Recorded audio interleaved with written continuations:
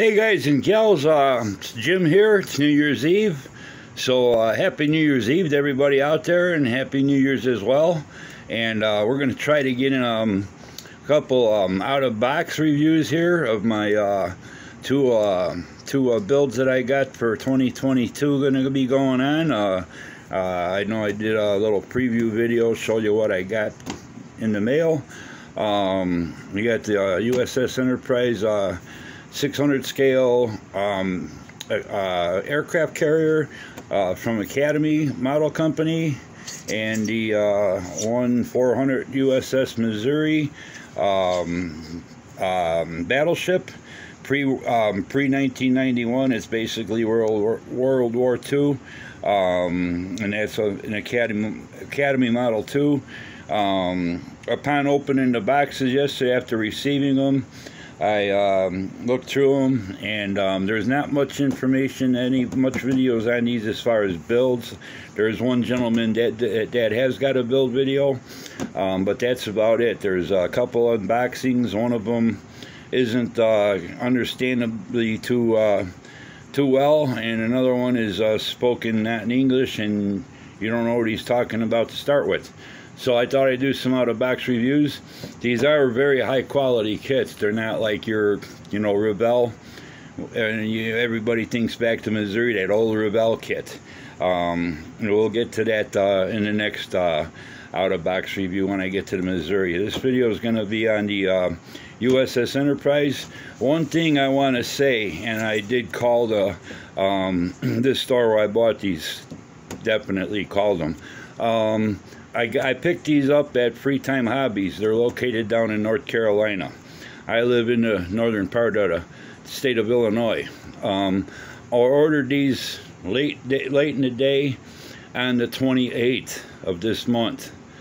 Uh, that evening, I got an email that the status had changed and they were shipped. Uh, yesterday, the 30th, they arrived at my doorstep early afternoon. Um, that's less than two two days, and that was FedEx. Um, usually, when I order something, any place ships it by FedEx, it's a good week or sometimes a little bit more. Um, less than two days to get these from North Carolina to my doorstep was very impressive, and I definitely definitely called up Free Time Hobbies and let them know how impressed I was with the quality of their service. Um, so yeah, and another thing too, I ordered these two models.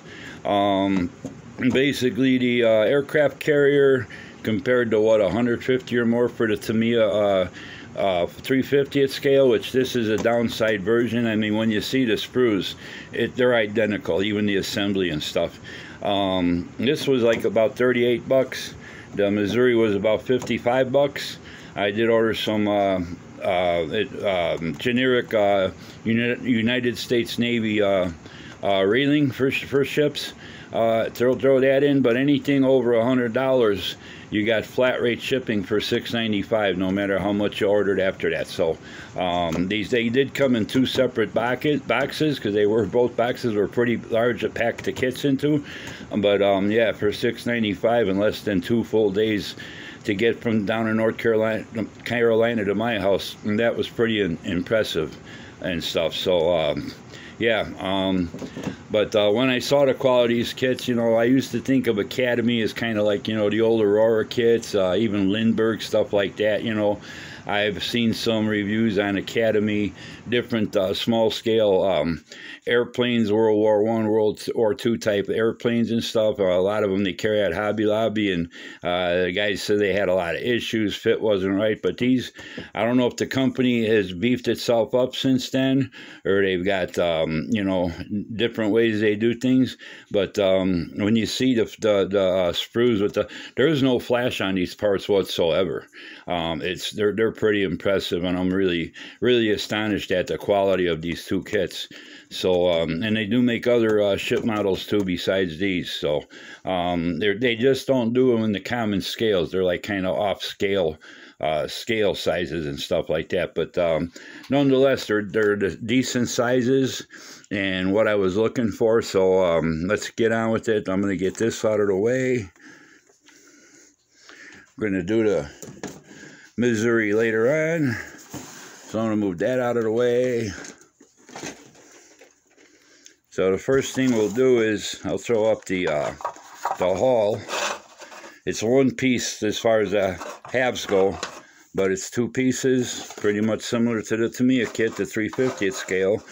The only difference is this is 22 inches, the Tamiya is 36 inches, so you're looking at a, a 14 inch difference in size, but this is still pretty good size and everything. But um, the hull comes in two pieces, so you will have some seam work.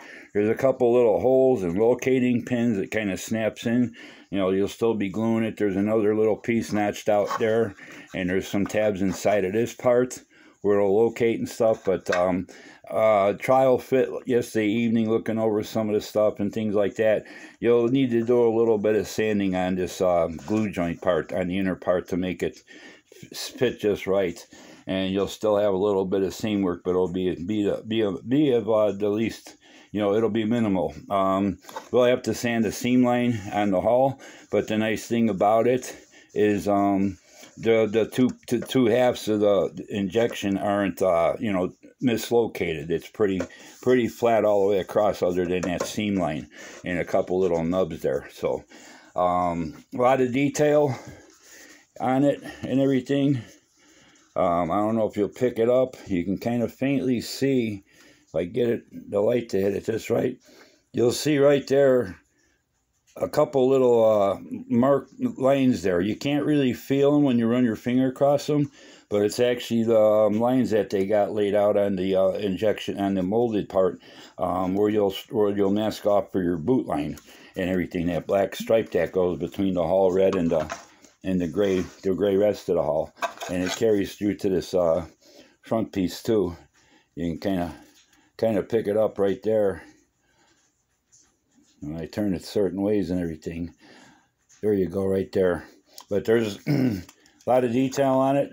So um, that's the hull. So we're going to get that out of the way.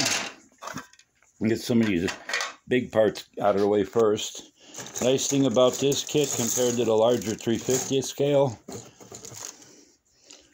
A couple good points. A little drawback. For one, it's one piece. You don't have to worry about any kind of seam lines. I think that to me, one comes in three three pieces, so you got to worry about joints, seam lines, and stuff like that. But they do have four screw holes locations, and there are four uh, uh, tabs in the uh, in the bottom part of the hull that the screws uh, joint you know meet into. Um, so there will be some sometimes models if they include screws they give you a little uh, cap that goes over them and you got very little you know work to do to blend them in. But in this case you'll have to do a little putty work, just mask off around the area, just get the putty into where you want it, let it dry, sand it down, see if you need to fill in any more cracks or anything. You'll be good to go. Um, another drawback it does not come with decals for any of the deck markings. So as far as all these stripes, they are molded on there, so it's not going to be hard to mask them. But that's the one thing you'll have to paint them on. There's no decal decals. And since this is an odd size, um, there's no aftermarket decals available for it either. The elevators are permanently in the up position. Um, you know that they do give you pieces for your um, hangar bay. They'll have doors on them. I imagine if you wanted to, you could uh, uh, open them up. You could. I don't plan on it, and you can kind of create a little uh, um, scratch build hangar deck in there if you wanted to go that route. I know some people uh, do that kind of stuff. Um, I don't plan on doing it. I'm just uh, building it, you know, as is out of the box with the addition of photo etch railings. But um, they do give you decals for like these rectangular areas, the uh, the panels that lift when the planes are ready to uh, launch with the catapults to um, keep the truss from shooting all over the place. They do give you the little yellow rectangular de decals that go around those. They give you your number 65 uh, decals for your uh, um, your tower and your uh, they don't the one on the front of the um, flight deck you'll have to uh, paint that too um, so yeah, you'll have to do some paint work on this. As far as around the elevators, they got it. You can see a little bit of raised detail. So they have to mask off. That's usually that red and yellow stripe that goes all around the elevators and stuff like that. Um, I did take a quick look-see to see if there's any kind of generic uh, aircraft carrier flight deck decals, I didn't see nothing whatsoever like that. You know, maybe if you replacements, if it was a regular scale, you'd be in luck. But other than that, there's nothing included with that. So we're going to set that off to the side for now. And as you can see, um, there's still another piece goes on the front with the two little protrusions and stuff, but um, overall length on this is 22 inches compared to the um, 1 700 scale Nimitz that I built a couple few years back. That was, um, I think, about 19 inches or something like that, 19 and a half. So this is quite a bit larger. And um, even just the 100 dif uh, difference in scale makes a big difference in size. Uh, we're going to get to uh, one of the other drawback parts to this kit. Um, I mean, they're usable, they're fixable, you know, a little bit of modifications to them. They'll be fine. Um, the aircraft that come, I mean, they do lack, lack in some detail. Let me get those out of the way. All four sprues, you get eight of these uh, identical sprues. Um, I mean, they do lack in some detail somewhat, but hey, any, uh, even the big um, Revell um, 400 scale Enterprise, which has uh, been around for ages, um, they're pretty much not much more than this. You do have to glue on the uh, the tail fins, the rudder, whatever, the, um, the tail fins, like I said, the, the, and all that on all of them. Um, flip these over, you'll look. The landing gear, it uh, it really doesn't lack. The rear stuff isn't too bad because if you if you put those on the deck, you know you won't see them as much. But the front landing gear, they're pretty uh, pretty big. Um, I thought about you could uh, just whack them up and take a little piece of piano wire with a little piece of uh, round um, uh, styrene rod, make up something, uh, or else just take the X-Acto and just kind of trim them down so they're not as wide, make them a little bit narrower, and they should look okay. You know, this, like I said, this isn't a, a two, three hundred dollar, uh, you know, quality, high quality museum piece kit and everything. So for 38 bucks, you know, I mean, you get what you pay for. But it's still, like I said, it's still not much different uh, as far other than the aircraft. Um, and if you thought think think we're oh I could buy the 700 scale Tamiya planes, those are like little model kits in themselves. I had to build a bunch of those for my uh, Nimitz, and it took several months for them. And they were so delicate and fragile, the clear styrene. All you had to do was squeeze a little too hard, um, hardly any pressure at all, and they were the wings were cracking up because they're so paper thin and delicate. Um, but 100 difference in scale size is a big difference in the size of the plane. So if you you know if you think twice before you actually you know go out and buy some 700 scale planes to replace these, the difference between 600 700 will be noticeable. So, but that's the planes. You know, we're not going to go into real big detail on some of this stuff. Next uh, sprue we got coming up. And this sprue did have a couple loose pieces in the bag, but fortunately there's no, no damage to them. You'll see what I mean by a lot of parts. You got these uh, couple parts. I don't know if they came from, which one they came from, but we're going to get them close to where they belong. This this sprue's got a lot of your uh, your main uh, tower and everything, your island uh, superstructure. A lot of the parts for that. Um, as you can see, they got window detail, everything. Um, now here's where we're getting into all these small parts and everything. Um, on the video, on the camera, they come out, they look a lot bigger and stuff. But um, there's like uh, hundreds of hundreds, several hundred parts in this kit. And much of this, if you look at this, and then you go to um, um, out-of-box review on the 350 at Tamiya, these sprues are going to look identical and the parts are going to pretty much be uh, the same locations and the same look the same as well. So um, so I say all this is is a downsized a kit with you know a little bit less quality in the aircraft maybe but other than that um, there's not much difference. And you know for the price 38 bucks 40 bucks maybe you know total out the door. Um, compared to 150 200 250 I've seen some of the prices on the 350th one. Um, you know if you're if you're not worried about size and you want a decent aircraft model kit hey this one will do it for you.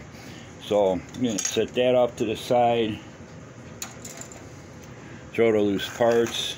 You can kind of get a idea that's just the inner part of the uh, tower and there's walls that outer walls that go out around that with the windows and everything. So it's pretty decent size and all that so um, next we're going to get into the next sprue this has got some of your larger parts the different um, the different things that stick off the side of the hull where they got the different uh, the phalanx uh, uh, uh, cannons and all that kind of stuff. Um, you got some of your elevator underside of the elevator parts with detail on them and stuff like that.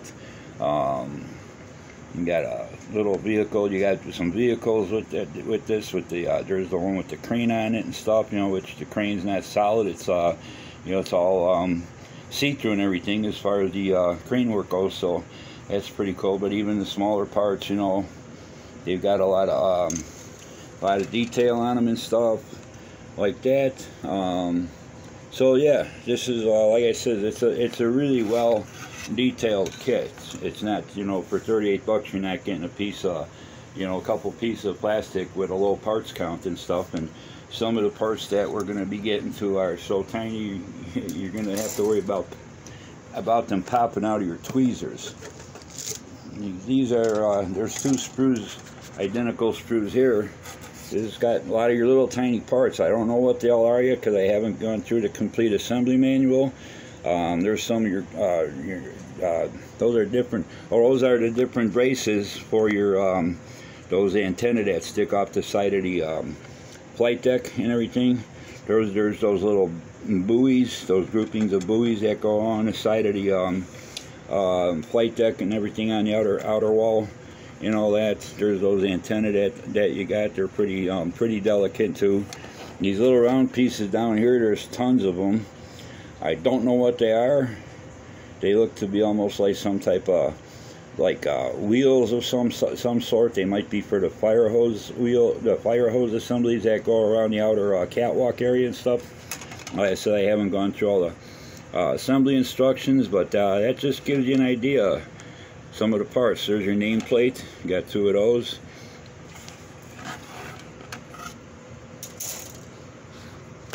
Another sprue that's identical to that.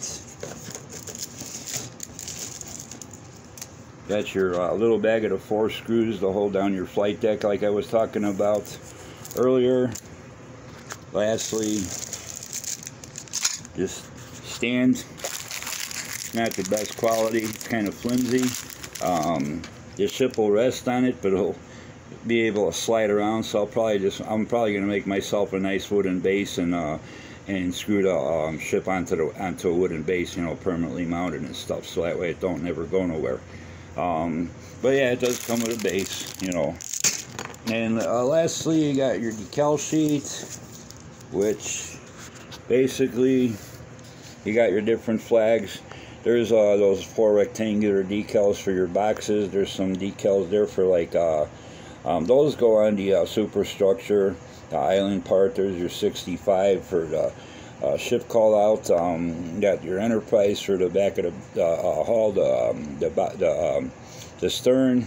Um, all the rest of this decal sheet is pretty much all your markings for the aircraft and stuff.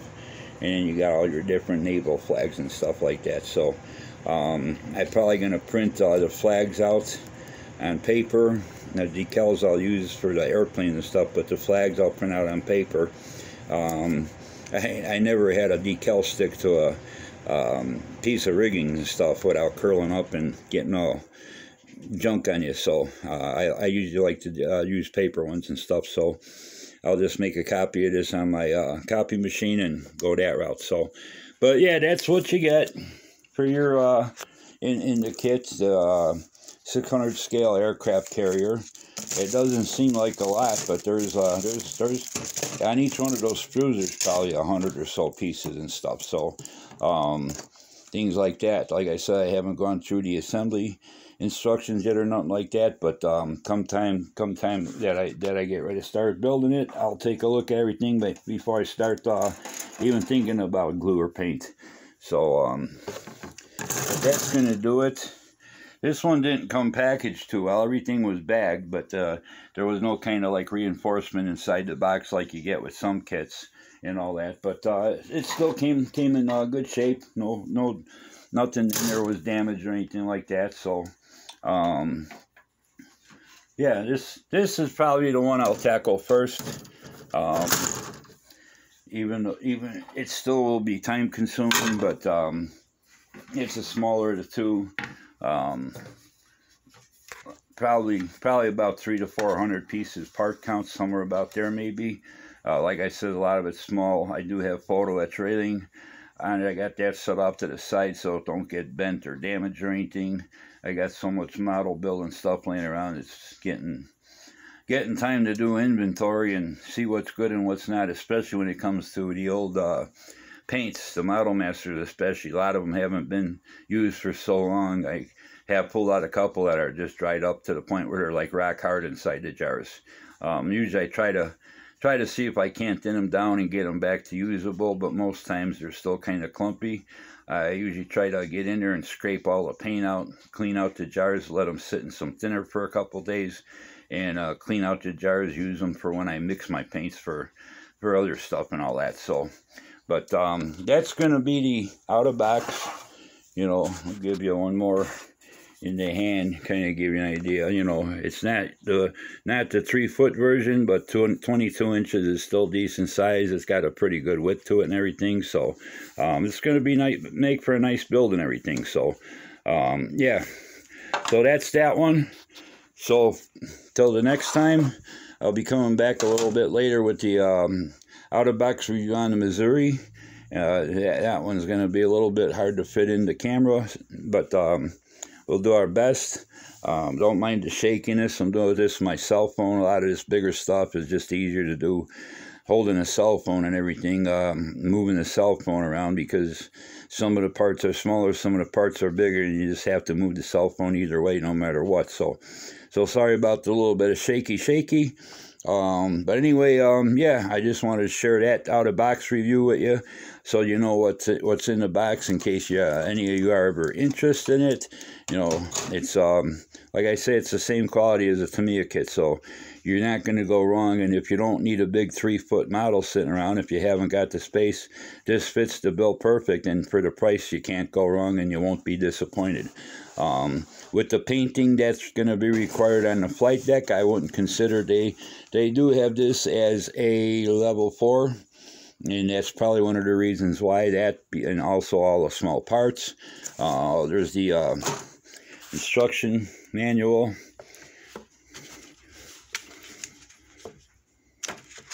Um, it is legible. They do give you your paint callouts, different things like that. First thing you do is you start with the hull, different things like that, uh, which is pretty much normal for any uh, ship model. And then you build up from there, pretty much bottom up. They got little stairways that go into different areas and stuff like that. Yeah, there's a lot of little tiny parts.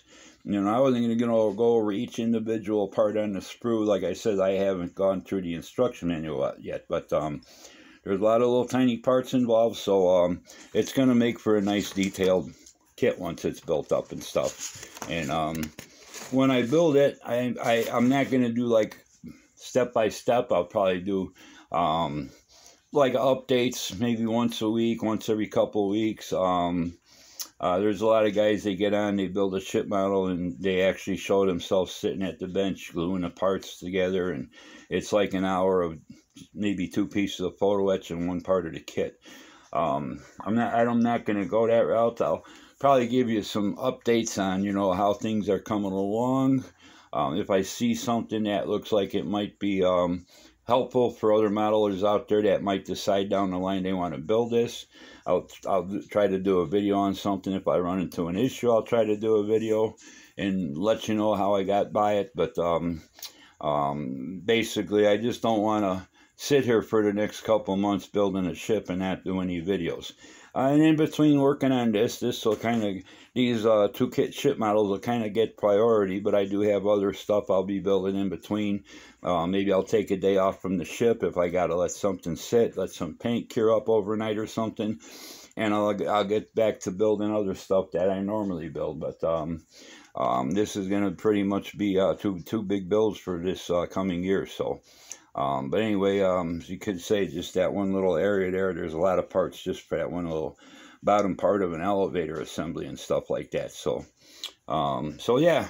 Anyway, we're not going to go through the whole manual. Everybody knows what a assembly manual looks like these days. So, so for now, that's going to do it. So I like to, like to thank all my subscribers. Um, hope this video was a little bit helpful if anybody's interested in purchasing one of these down the line. Um, I got these at Free Time Hobby. Um, I don't know if they, they I, I didn't see both of them. I think I saw the Missouri on Hobby Link, which I ordered a lot of my paints and stuff like that. I've ordered quite a few kits from them too through the years um, things like that. But um, yeah, if you just go online, you know, on Google or something, and you you want to try to find it, if somebody's, I know the Missouri, I must have got the last one because uh, yesterday when I went on there to check for something that I was looking for, um, it was it set out of stock, so I must have got the last Missouri kit they had in stock. So, but anyway, yeah, I'm sure you'll find it. There's other place. I think Mega Hobby carries it. Um, there's a few other websites that I did see, and they're all within a dollar in the price range of what I paid at free. Free time was the cheapest. Most other places were like a dollar more. So, um, but shipping made a difference too. Like I said, if you spent over a hundred dollars at Free Time Hobbies, it was flat rate shipping, six ninety five, no matter how much you added to the order after that. So, um, that's pretty cool. There's a place I deal with for um, the Bandai kits uh, up in Wisconsin. They do that too. They got a flat rate shipping with your order one kit or 20 kits, it's one price for shipping. So, um, anyway, uh, that's going to do it for this this video. So thanks to all my subscribers. Thanks to all my new subscribers. Thanks for hitting the like button. Thanks for the, leaving me the great comments. Everybody have a very happy New Year's Eve and a happy New Year and a healthy one. And stay safe out there. And we'll talk to you in a little bit with uh, the next um, out-of-box review of the USS Missouri battleship. BB 63. Yep, that's it, BB63. Okay, take care. We'll talk to you soon. Bye.